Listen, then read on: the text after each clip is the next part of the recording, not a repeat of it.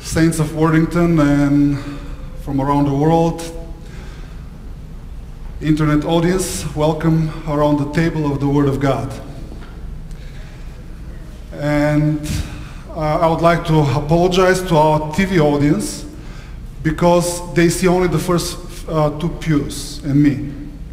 And from their perspective, it looks like there is nobody here. So if anyone of you prompts, uh, feels prompted by the Holy Spirit to move forward, uh, feel free to do so. And you'll do a favor to those who are watching us uh, online. For those of you who are new with us here today, I would like to let you know that we're in the middle of the book of uh, Judges. We are studying the Judges of Israel. And today we're going to continue